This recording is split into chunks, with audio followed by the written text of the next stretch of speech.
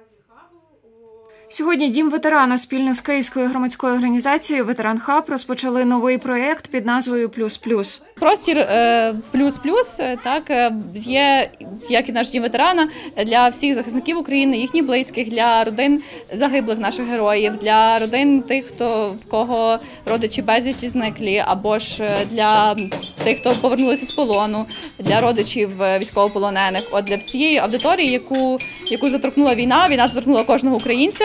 От, але також і ті, хто ще більше переживають оці струси війни, і разом зможемо їх пережити легше. Тут будуть різні події для такої аудиторії людей, а також можна просто прийти, щоб отримати безкоштовні юридичні і психологічні послуги.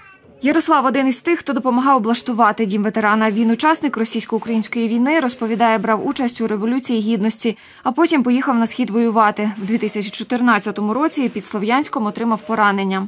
Треба мінно-вибухове поранення ну, голову відказала ліва сторона. Частина зараз титанова сітка, частина ну, скелету немає в голові. Е, Відновлюється, відходжу помалу.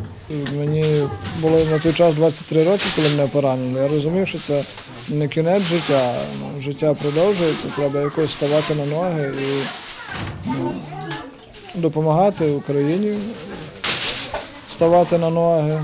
Після повернення з фронту, каже Ярослав, військовим необхідна допомога в психологічній адаптації.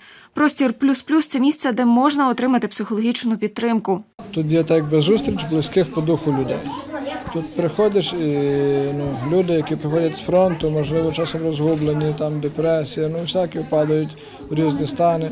Коли всі сюди приходять, е, можна щось ну, згадати, поговорити. Ну, атмосфера така українська патріотична. І тут дуже важливо, приємно перебувати. Виконувачка обов'язків керівника дому ветерана Ірина Драгущак каже, військові та їхні родини можуть приходити в дім ветерана щодня. Тут їм нададуть інформацію та необхідну допомогу. Зазвичай в нас ну, значно раніше відкриваються і пізніше закриваються, але з 3 до 7 це точно робочі години дому ветерана.